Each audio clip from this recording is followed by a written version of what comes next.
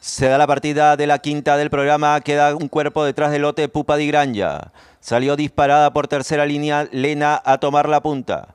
En el segundo lugar se va ubicando Granada de Guerra. Tercera por fuera Taxama. En el cuarto lugar recuperándose Pupa di Granja. A continuación Vampirina y de colera cinco cuerpos histriónica. Van llegando a la altura de los últimos 1200 metros. En la punta Lena. Lena lleva cuerpo y medio de ventaja. En el segundo lugar Granada de Guerra. Tercera Tatsama por fuera, cuarta en la baranda Pupa di Granja, quinta Vampirina. Continúa de colera a seis cuerpos histriónica. Van llegando a la altura de los 700 con Lena en punta. Lena lleva dos cuerpos de ventaja, segunda Granada de Guerra. Tercera en la baranda Pupa di Granja.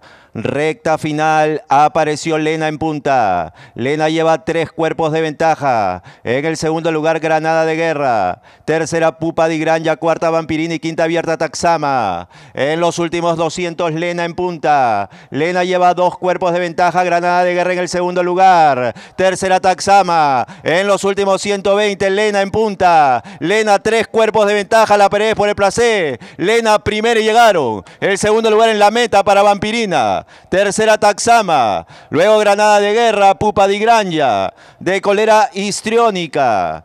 Gana la quinta del programa de punta a punta. El número 3 Lena. Con la monta de Juan José Enríquez.